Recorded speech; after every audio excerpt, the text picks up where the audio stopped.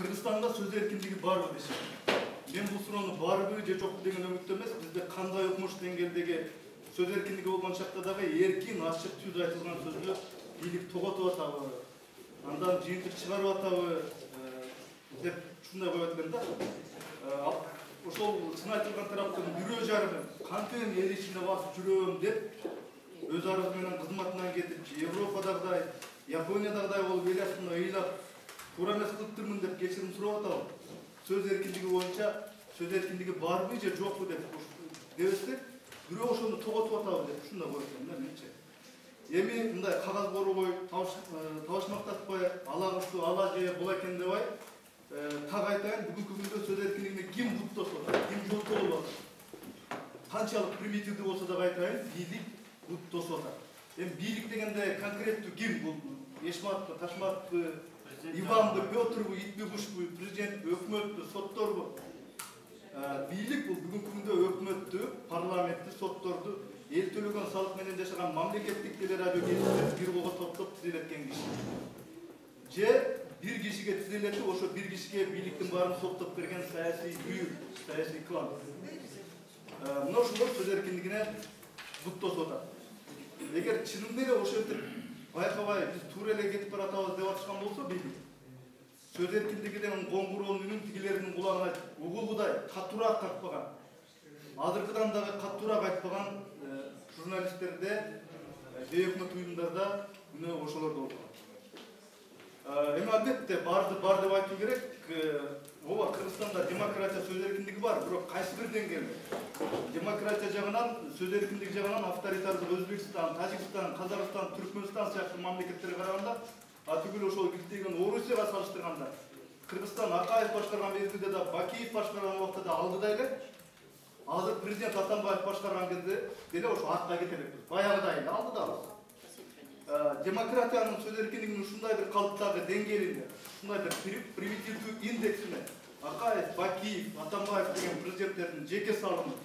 жеке үлүшүү барбы жокпу балким эркин журналистиканын салымы бар болушу керек бирок бир нерсени так айта алам каримов рахмон назарбаев бердимухамедов сыяктуу авторитардык президенттердин фонунда кыргызстандагы демократия сөз эркиндиги аябай алдыда баратканда өсүп өнүп атканда туюлуп атканы менен же авторитардык эмес же биротоло парламенттик демократиялык образ образдуу орусча айтканда баягы чуть чуть беременный абалда турганыбызды моюнга алышыбыз керек биз арыдан бери болбой атабыз биз чалажан демократияны чалажан сөз эркиндигин колго калп эле байрак кылып кармап алып өзүбүзгө өзүбүз калп айтканды өзүбүздү өзүбүз алдаганды токтотушубуз керек элдин салыгы менен жашаган бюджеттен каржыланган маалымат каражаттарына илгеркидей эле ак үйдүн кийлик ишүүсү ак үйдүн алып койгула кесип койгула кошуп койгула бергиле бербегиле деген ыплас бирбеткей технологиялары колдонулуп жатат сөз эркиндиги тууралуу кеп болгондо эле бакиевдин балында журналисттерди атып кетчү сабап кетчү азыр эч бир журналистти аткан жок урган жок деген өлчөм менен сөз эркиндигин баалап ошол нерсе бийликтин айкөлдүгүнөн улам болуп атат дегендей корштон болуунун өзү менимче туура биз мурунку президенттерге окшоп журналисттерди өлтүрбөдүк сабабадык а мурдагылар сабашчу өлтүрүшчү дешет бул эмне сөз эркиндигине кошкон бүгүнкү бийликтин жеке салымы өлтүргүсү келип туруп өлтүрбөй коюп сабагысы келип сабабай коюп бул сөз эркиндигинин деңгээлин аныктоочу демократиялык параметр өлтүрүп деле коймокмун өлтүрбөй койгондукка шүгүр дегиле деген сөз менимче сөз эркиндиги бул бийликке карата айтылган эркин сынга эркин сөзгө жооп берүү журналисттердин астында кон астында жооп берүү бүгүнкү бийлик жаман көргөн журналисттер суроо берип атат урматтуу атамбаев мына бийликке отурганыңызга бир гана мезгил болуп калды дайыма эле иштейин десеңиз жолтоо болуп аткан акаев бакиев деген желмобуздар жок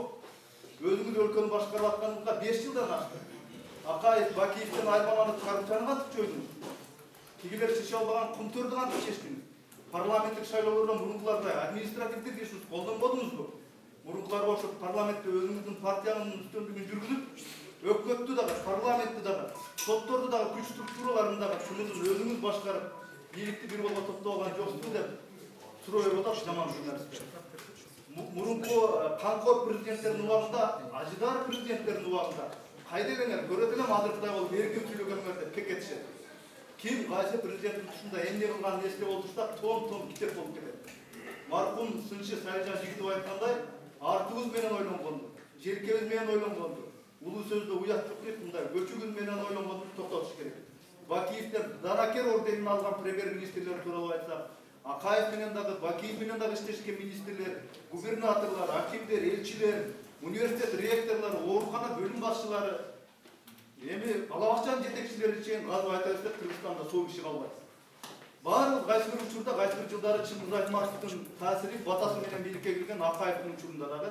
атамбаевдин следующим президентим будет бакиев деген батасы менен келген бакиевдин учурунда дагы мамлекеттик мекемелерде иштегенбиз. Азыр мына текебаевдин батасы менен келген атамбаевдин учурунда да мамлекеттик структураларда мекеме ишканаларда иштеп атышат кишилер.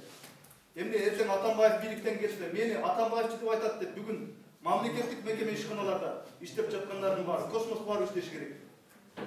Желке менен арчак менен ойлонгонду коюп чукулаганды тырмалаганды коюп мурунку жаман бийликтердин жаман президенттердин жаман тумандарын сөз кылганды токтотуп эки миң онунчу жылдан кийинки жакшы бийлик келгенден кийинки беш жыл ичинде кандай жакшы реформалар жүрүп кетти деп отчет бербейлиби же атамбаев кетсе илгери ал киши моминтип туура эле чүчкүрдү эле моминтип жөтөдү эле деп жаңы бийлик атамбаевдин илгерки эски укуктун чукулап эртеси эшматов келсе ал кеткенден кийинки архивин ташматов келсе ал кеткенден кийинки анысын айтышып акаев бакиев атамбаев эшматов ташматов ага эле көк эле жакшы эле сары эле деп артты чукулап жүрө мурунку башчылардын режимдери мейли жаман чекит деп атай турган болсок жакшы чекит каерден башталышы керек эгер атамбаев келгенден кийинки жылдан башталса ошол жакшы чекиттен берки убакытта эмне кылынды? Эмне маселелер чечилди деп чечилбесе эмнеге чечилбей атат урматтуу президент урматтуу өкмөт парламент деп суроого журналисттердин акысы барбы акыры эгер жок болсо анда демократия сөз деп кылбай эле койбой белек атамбаевден кийинки кирген жаңы президент жаңы бийлик дагы мен иштейин десем атамбаев баарын талкалап кетиптир баарын бузуп кетиптир деп конкреттүү бир иш кылбай баарын акаевке бакиевке атамбаевке шылтап жүрө берчү арамызда жалкоо жалакай ыкма менен жашап жүрө берели анда? Президент кезинде ким чен ынды урматтагандай улуу урматтуу президент айткандай улуу урматтуу президент дегендей деп көтөрө чалып мактап ал кеткен соң битакмагын чыгарып жамандап жаңы келген президент болсо кыргыздын бактысына жаралган кыргызды сактап калгыч баатыр келди деп ишенбесе дагы ишендирип мактап жүрө берели байкап карасаңыздар бийлик менен оппозициянын аралыгы бийлик менен элдин аралыгы бийлик менен эркин сөз айткан журналисттердин аралыгы акаев бакиев кезинде кандай алыс болсо азыр ошол аралык жакын болуп кеткен жери жок алыс бойдон эле турат анткени илгерки эле кишилердин колу менен илгерки эле ыкмалар методдор ишке ашып келатат илгеркидей эле сын айтып чыккан саясатчылар мамлекеттик маалымат каражаттары аркылуу бир уч эл бузарлар сын айткан журналисттер болсо бир уч эл бузган ушакчылар катары жамандалат бийлик менен анын оппоненттеринин ортосунда диалог жок ушул оппозиция менен дагы сүйлөшөлү ушуларга антип оппозиция болсун деген тең сүңгөө текеберленүү акаев бакиев кезинде дагы бар эле ал өнөкөт азыр күчөдү мурункулар жаман президенттер болсо анда жакшы президент атамбаев жаңы саясий салтты баштап сдпксына дагы жан тартпай бийликтин оппоненттерине дагы берилип кетпей баардык бийлик органдарына калыс болуп арбитрлик милдет аткарып тарыхта калчу президент болбойбу сияга ал киши беш жылдан бери бийликте отурганын сезбей атат окшойт оппозиция болсо менчик менчерик болор деген оппозициялык ролду ошондой образды менчиктеп алган образдан чыга албай келатат жатат окшойт бирок ал бийликте отургандан кийин бийликтин бийлик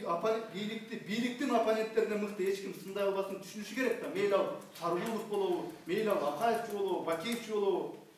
көчөдө бакырганды коелу абуйдун астына келип алып кыйкырып тура берме ызы чууну коелу оппозициянын мыйзамдык ордун аныктап бердик го парламентте оппозициянын орду бар го деп бийлик канчалык актанышпасын акыркы жыйырма төрт жыл ичинде коррупциялык жолдор менен байыган чөнтөгү калын капчыктуу кишилердин көбү парламенттик шайлоодо бийликке лоялдуу партияларды түзө коюп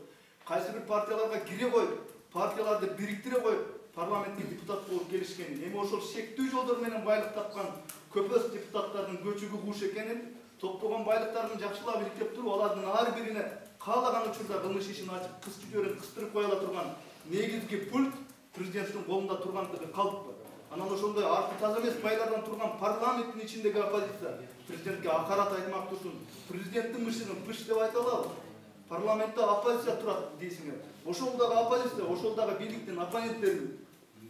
оппозиция жок болсо аны жаратуу керек деген принципти бийлик эстегиси да жок ар кандай амалдуу жолдор менен кыйтыр тактикаларды колдонуп отуруп учурда кыргызстанда оппозиция толугу менен талкаланды баардык расмий күчтөр баардык ресурстар бир партия үчүн бир киши үчүн иштей турган шарт түзүлдү. Бирок бийликтин кетирип аткан кемчиликтерин чоң чоң катачылыктарын эл көрүп турат. Ошол көрүп турган чындыктар азыр анча ачык айтылбаган менен топтолуп топтолуп олтуруп чыныгы элдик оппозициялык маанай пайда болоорун элдин пикири элдин жаалыс элден да катуу экенин бийлик унутпаса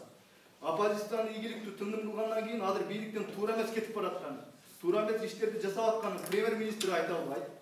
спикер айта албайт атүгүл парламенттеги оозу байланган оппозиция болмуш фракция дагы айта албайт соттор дагы айта албайт министрликтердеги министрлер анын орун басарлары жардамчылары катардагы кызматкерлер айта албайт облустагы райондогу айыл өкмөттөрүндөгү чоңдор айта албайт